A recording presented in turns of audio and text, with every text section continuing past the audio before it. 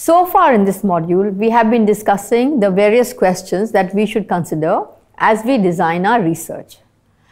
Let us now bring in examples of some research projects and how they address some of these questions. The first of our questions was about the nature of knowledge that we are seeking.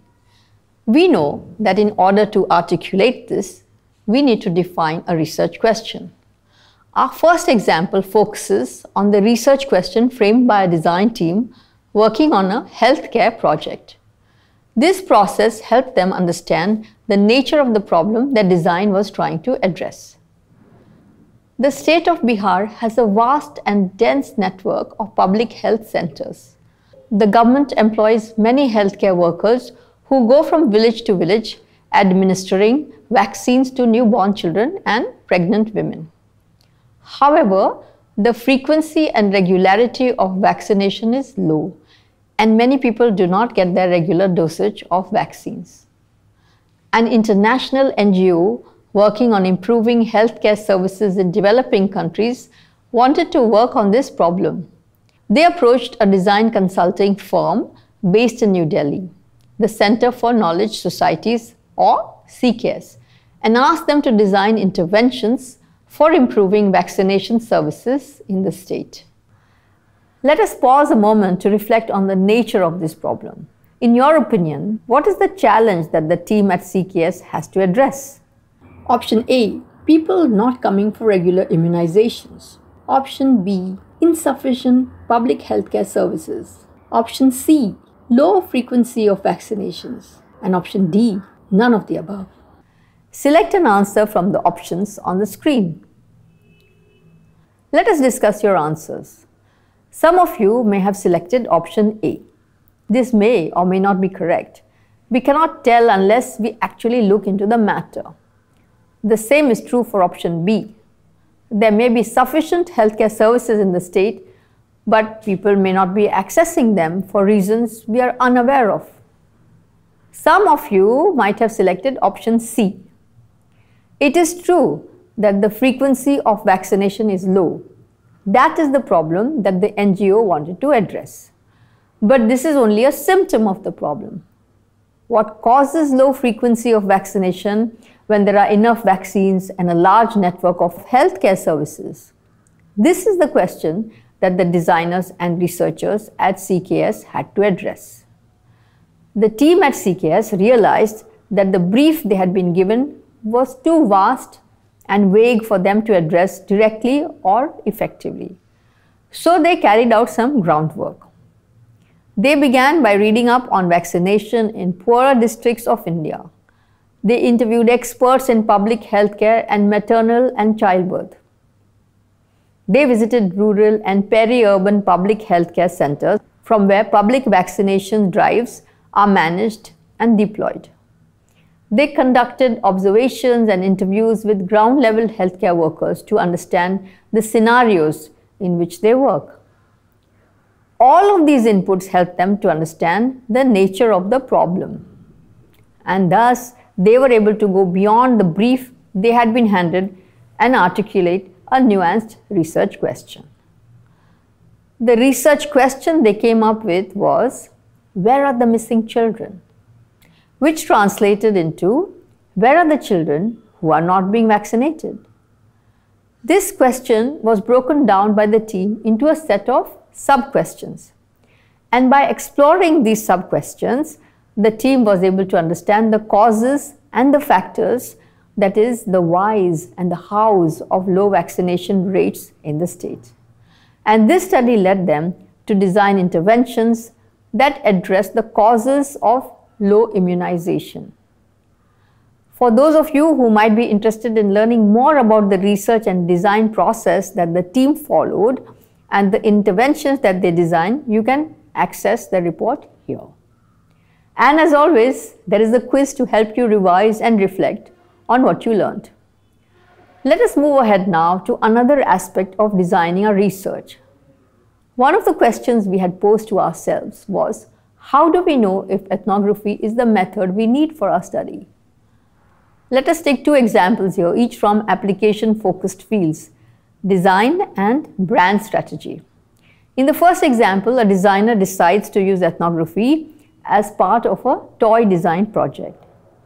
Designer Neha Parikh was given a brief to design a low-cost toy that would appeal to lower middle class and middle class children of primary school age living in cities.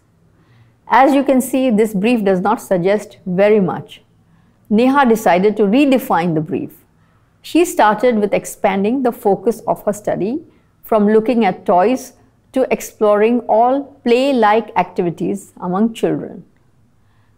Before she got down to designing, she wanted to understand what playing means to children.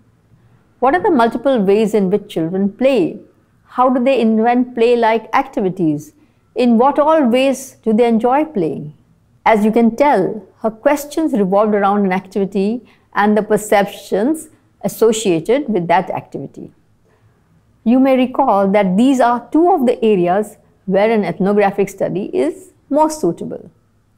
Moreover, it was important for Neha to investigate the subject of play by observing it as it happened. And so she chose ethnography as her primary research method. She and her team spent time with children in their homes and in playgrounds. They observed them as they played games, invented new ones, and interacted with playmates. The ethnographic method enabled her to carry out observations of the activity of play, and these observations fed into her understanding of the activity, its many aspects, and the meanings it held for children. This helped her identify aspects of playing that she might not have otherwise thought of, such as the role of play in building relationships among children and between children and adults, the many ways in which children use their bodies and imaginations to create fun situations, and the desire of parents for toys and games to be educational for their child. These insights eventually led her and her team to design several new games and toys. The second example towards this question is from the field of brand strategy. Satish Krishnamurthy, a brand strategist at Sideways Consulting, was asked to come up with a branding and marketing strategy for a new fintech app that would allow small shop owners to accept cashless and cardless payments from their customers. While the question itself was quite pointed, it required him to understand a rather large set of activities. He needed to understand the various kinds of financial transactions that take place in different kinds of small retail shops. This was quite a huge range of transactions to understand. And given that personalized fintech apps are relatively new, there wasn't much existing research that he could fall back on. Without the support of existing research, he would have to learn for himself through on ground engagements and observation. So he chose ethnography as the research method. Let us pause here a moment. You might remember we had listed out four broad areas that are suitable for exploration through ethnography.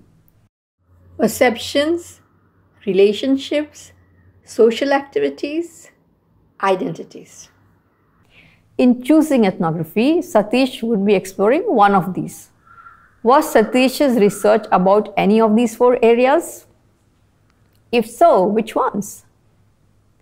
Some of you might have said that none of these areas necessarily falls in the domain of Satish's brief.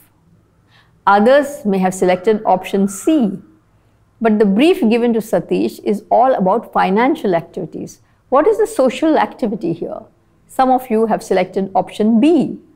But does Satish need to focus on interactions between shop owners and their customers? Well, options B and C are correct. Let's understand how. Satish's research is about the financial activities of people in retail stores. He needs to understand what kinds of transactions take place at these shops and what is the nature of those transactions. Using ethnographic methods, he can observe these activities. And importantly, buying and selling is as much a social activity as it is a financial one.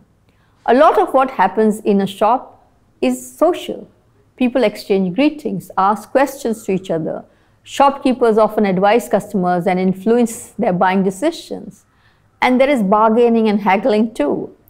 All of these are social activities and interactions, and they can be observed closely by using ethnographic methods.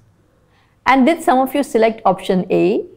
Is this a situation where Satish is trying to understand people's perception of monetary transactions in a shop? Let us see. By using ethnography, Satish was able to observe transactions at the shop in the context in which they were carried out.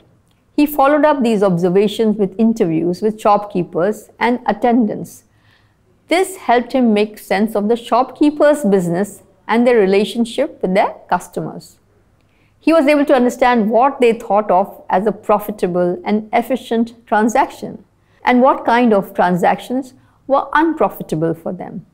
In short, he learned of the shopkeepers' perception of their customers, their transactions, and their business. So, yes, this was a study where the researcher attempted to understand people's perception of phenomena they were involved in.